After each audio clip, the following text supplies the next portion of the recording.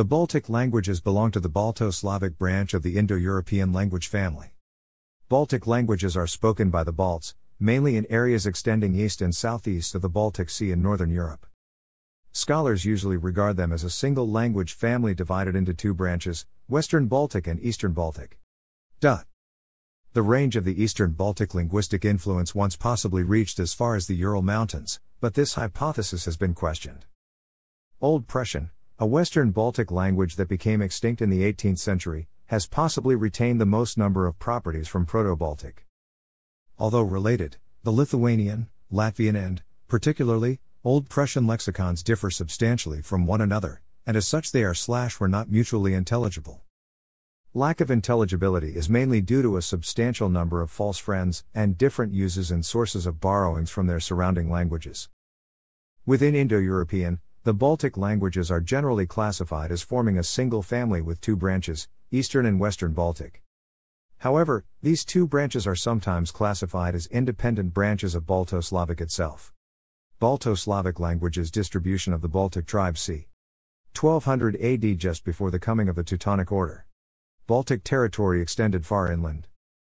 It is believed that the Baltic languages are among the most conservative of the currently remaining Indo European languages, despite their late attestation. Although the various Baltic tribes were mentioned by ancient historians as early as 98 CE, the first attestation of a Baltic language was c. 1369, in a Basel epigram of two lines written in Old Prussian. Lithuanian was first attested in a printed book, which is a catechism by Martynas Mažvydas published in 1547. Latvian appeared in a printed catechism in 1585. One reason for the late attestation is that the Baltic peoples resisted Christianization longer than any other Europeans, which delayed the introduction of writing and isolated their languages from outside influence. With the establishment of a German state in Prussia, and the mass influx of Germanic settlers, the Prussians began to be assimilated, and by the end of the 17th century, the Prussian language had become extinct. After the partitions of Poland, most of the Baltic lands were under the rule of the Russian Empire, where the native languages or alphabets were sometimes prohibited from being written down or used publicly in a Russification effort. Distribution of the Baltic languages and the Baltic speakers of modern Baltic languages are generally concentrated within the borders of Lithuania and Latvia. And in immigrant communities in the United States, Canada, Australia, and the countries within the former borders of the Soviet Union. Historically, the languages were spoken over a larger area, west to the mouth of the Vistula River in present day Poland, at least as far east as the Dnieper River in present day Belarus, perhaps even to Moscow, and perhaps as far south as Kiev. Key evidence of Baltic language presence in these regions is found in hydronyms that are characteristically Baltic. The use of hydronyms is generally accepted to determine the extent of a culture's influence, but not the date of such influence. The Mordvinic languages, spoken mainly along western tributaries of the Volga, show several dozen loanwords from one or more Baltic languages. These may have been mediated by contacts with the eastern Balts along the river Oka. The eventual expansion of the use of Slavic languages in the south and east, and Germanic languages in the west, reduced the geographic distribution of Baltic languages to a fraction of the area that they formerly covered.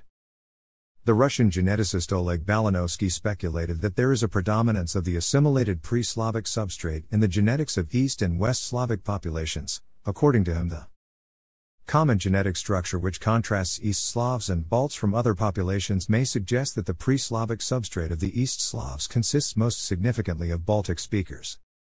Which predated the Slavs and the cultures of the Eurasian steppe according to archaeological references he cites. Though Estonia is geopolitically included among the Baltic states due to its location, Estonian is a Finnic language and is not related to the Baltic languages, which are Indo European. The epigram of Basel, oldest known inscription in Prussian language and Baltic language in general, middle of 14th c. The Baltic languages are of particular interest to linguists because they retain many archaic features, which are believed to have been present in the early stages of the Proto Indo European language. However, linguists have had a hard time establishing the precise relationship of the Baltic languages to other languages in the Indo European family. Several of the extinct Baltic languages have a limited or non existent written record, their existence being known only from the records of ancient historians and personal or place names. All of the languages in the Baltic group were first written down relatively late in their probable existence as distinct languages. These two factors combined with others have obscured the history of the Baltic languages, leading to a number of theories regarding their position in the Indo European family. The Baltic languages show a close relationship with the Slavic languages, and are grouped with them in a Balto Slavic family by most scholars. This family is considered to have developed from a common ancestor, Proto Balto Slavic. Later on, several lexical, phonological, and morphological dialectisms developed, separating the various Balto Slavic languages from each other. Although it is generally agreed that the Slavic languages developed from a single more or less unified dialect that split off from common Balto Slavic, there is more disagreement about the relationship between the Baltic languages. The traditional view is that the Balto Slavic languages split into two branches, Baltic and Slavic, with each branch developing as a single common language for some time afterwards. Proto Baltic is then thought to have split into East Baltic and West Baltic branches. However, more recent scholarship has suggested that there was no unified Proto Baltic stage, but that Proto Balto Slavic split directly into three groups Slavic, East Baltic, and West Baltic. Under this view, the Baltic family is paraphyletic, and consists of all Balto Slavic languages that are not Slavic. This would imply that Proto Baltic, the last common ancestor of all Baltic languages, would be identical to Proto Balto Slavic itself, rather than distinct from it. In the 1960s, Vladimir Toporov and Vyacheslav Ivanov made the following conclusions about the relationship between the Baltic and Slavic languages. These scholars' theses do not contradict the Baltic and Slavic languages' closeness and, from a historical perspective, specify the Baltic Slavic languages' evolution. Finally, there is a minority of scholars who argue that Baltic descended directly from Proto Indo European, without an intermediate common Balto Slavic stage. They argue that the many similarities and shared innovations between Baltic and Slavic are due to several millennia of contact between the groups, rather than shared heritage. Place of Baltic languages according to Wolfgang P. Schmid, 1977. The Baltic speaking peoples likely encompassed an area in Eastern Europe much larger than their modern range, as in the case of the Celtic languages of Western Europe, they were reduced by invasion, extermination, and assimilation. Studies in comparative linguistics point to genetic relationship between the languages of the Baltic family and the following extinct languages. The Baltic classification of Dacian and Thracian has been proposed by the Lithuanian scientist Jonas Basanavičius, who insisted this is the most important work of his life and listed 600 identical words of Balts and Thracians.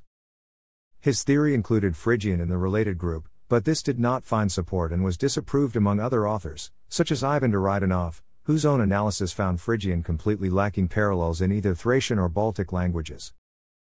The Bulgarian linguist Ivan Duridanov, who improved the most extensive list of toponyms, in his first publication claimed that Thracian is genetically linked to the Baltic languages, and in the next one he made the following classification The Thracian language formed a close group with the Baltic, the Dacian, and the Pelasgian languages. More distant were its relations with the other Indo European languages. And especially with Greek, the Italic and Celtic languages, which exhibit only isolated phonetic similarities with Thracian, the Tocharian, and the Hittite were also distant. Of about 200 reconstructed Thracian words by Duridanov, most cognates appear in the Baltic languages, mostly in Lithuanian, followed by Germanic, Indo Aryan, Greek, Bulgarian, Latin, and Albanian. The cognates of the reconstructed Dacian words in his publication are found mostly in the Baltic languages, followed by Albanian. Parallels have enabled linguists, using the techniques of comparative linguistics, to decipher the meanings of several Dacian and Thracian place names with, they claim, a high degree of probability. Of 74 Dacian place names attested in primary sources and considered by Duridanov, a total of 62 have Baltic cognates, most of which were rated certain by Duridanov. For a big number of 300 Thracian geographic names, most parallels were found between Thracian and Baltic geographic names in the study of Duridanov. According to him, the most important impression make the geographic cognates of Baltic and Thracian, the similarity of these parallels stretching frequently on the main element and the suffix simultaneously, which makes a strong impression. Thanks for watching.